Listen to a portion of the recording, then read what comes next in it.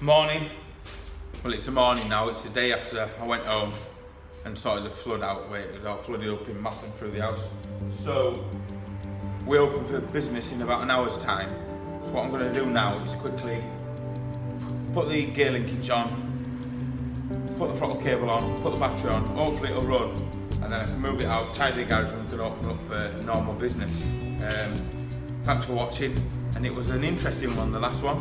So yeah, let's get on.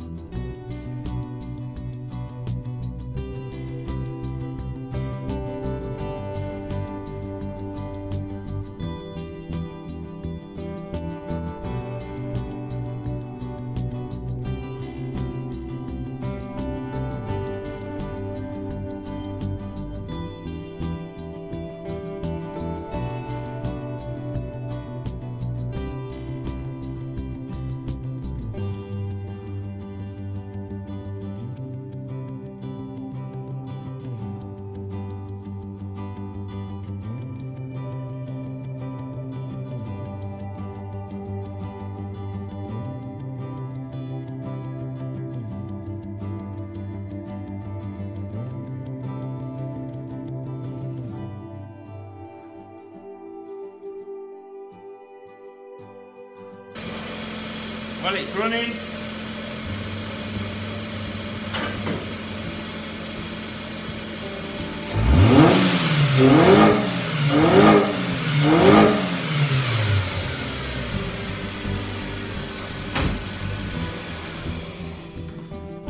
An auxiliary belt, get an auxiliary belt on it, and then I'll order a new thermostat housing and a heater matrix sensor valve because they've all snapped.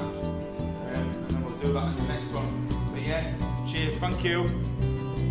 A bit of a short one, but don't worry, we have got plenty more coming soon. Just um, in the next one, we'll have the thermostat housing going on, we'll have the heater control valve, so then we can get all the coolant system, get all that fettled and finished off.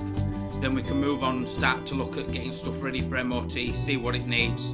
Um, it's pretty solid for a because normally they're rock boxes. But um, yeah, thanks for watching. Loads more content coming soon. I have a new laptop with some new software coming, so hopefully that'll make things flow a bit more easier. Then we can look at maybe getting a new camera for filming. So yeah, let's watch this channel grow. We're knocking up the subscribers every week. So yeah, cheers. Thanks for thanks for watching, and don't forget to uh, subscribe. Cheers now. Bye.